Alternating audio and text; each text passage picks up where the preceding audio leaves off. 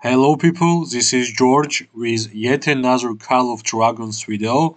Today we will be speaking regarding last war pet, which is left for us to speak.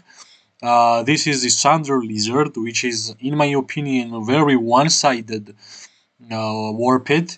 Almost every uh, other war pet has a couple of playstyles, uh, at least two, but uh, regarding the Thunder Lizard, it's pretty clear how you need to play with it and it's pretty clear what kind of playstyle you will be playing with the Thunder Lizard. Let's get, as always, regarding the attributes.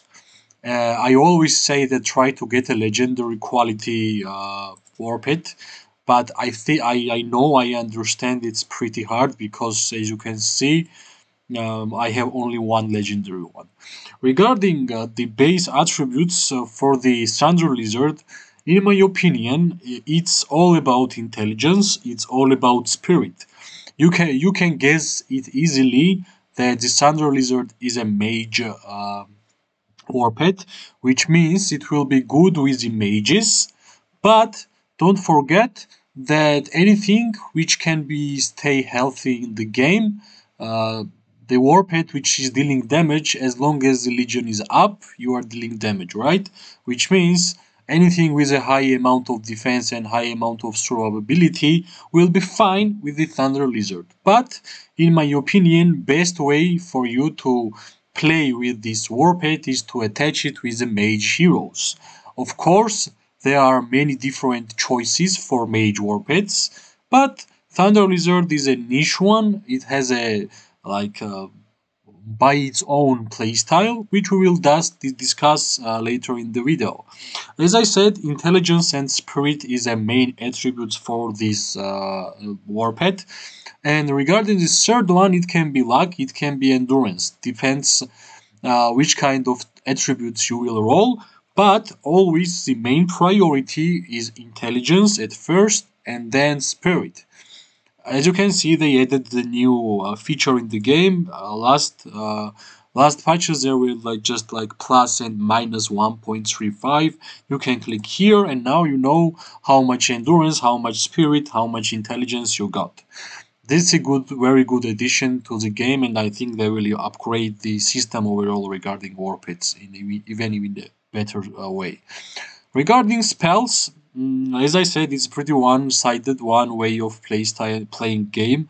Uh, the Tempest is a very simple skill, uh, which is just dealing damage to a target legion. This is like not AoE, which means it's not dealing like damage to couple of legions. It's only dealing to one legion.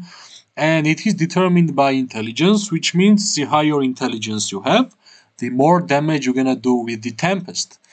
Uh, as you already know, a lot of uh, talent skills has a three synergy skills, but the Thunder Lizard only have two, which is the Tempest, which is dealing the pure damage, and Forceful Tempest, which is just giving the additional damage like 2.9%, which is determined by Spirit. So as you can see, like intelligence and the spirit is the main attribute for this war pet. After that, um, like there is a couple of choices in my opinion uh, to build this war pet. The magic spirit, like if we are like if the main idea about this pet is that it's dealing the war pet skill damage, we're gonna boost the war pet skill skill damage, right? That's uh, in my opinion that's the correct way of building this uh, pet at least for now. So magic spirits uh, critical damage increase when legion is dealing magic war pet skill damage and this is the war pet skill damage type magic. This can be good. Also uh, magic pools again crit damage increase like intelligence uh, uh, determined and this one is spirit. Again we need intelligence, we need spirit. Now, magic pools can be fine, can be good because it gives us additional critical damage uh, determined by intelligence. Uh, after that, we're gonna roll up and like for example, um, the great great uh, warpet uh, magic skill is bolt from the blue for the uh, mage legions. Legion magic attack, uh, which is determined by intelligence. Also great choice to add to this warpet and critical damage when your legion dealing when your legion is dealing a magic warpet skill. Also uh, it's a synergy with our tempest. So I, I think you already understood the main idea uh, about this pet it's like single target damage dealer which you can boost the damage by increasing critical damage and critical damage chance and also it only has one, uh, two synergy talent skills. That's the main idea of how I think Thunder Lizard can be played. Of course, in the future updates, I will be adding more and more skills, in my opinion, and uh, there will be more warpets, and there also will be more ways of playing every warpet, in my opinion.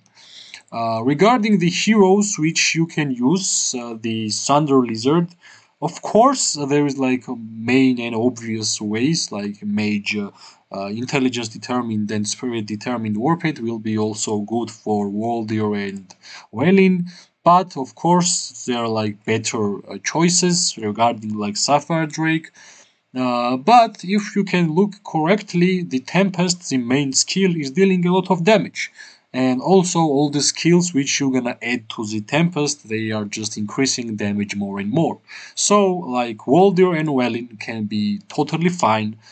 Uh, also uh, here, like as you know, I don't uh, I don't spend in this game at all. That's why I don't have Lilia, and I'm sure it can be worked with Lilia too, uh, because she's a mage hero.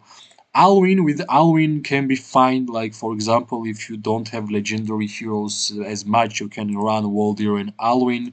You can run uh, Waldyr and Velyn. Uh, you can run uh, Lilia with Waldyr if you are spending in the game. Regarding Atheus, if you are playing with Celestials, well, uh, it will be awkward for you to play with Atheus and with Thunder Lizard because Atheus is a flying hero and uh, you should already know that flying heroes can move through the terrains and if flying hero has a land warpet it can't fly around and be the noisy thing in the war situation. So you are like decreasing your main uh, attribute by flying if you are choosing thunder lizard. So that's why i would not advise you to uh, choose for the Atheus the thunder lizard. But you have many different choices such as i will repeat Waldyr Velyn, Waldyr uh, Alwyn, Lilia Waldyr, Lilia Velyn, and so on. Uh, that's the main idea about the pet, which, in my experience, in my opinion, I get from the game. Now, with this um, warpet guide, we finished all the warpets which currently in the game. Of course, we will wait for some more and we will continue this series. But by now, this is all the warpets we already discussed and every video is in the channel. So thanks for watching, thanks for likes guys and I hope you are enjoying the videos. Bye bye!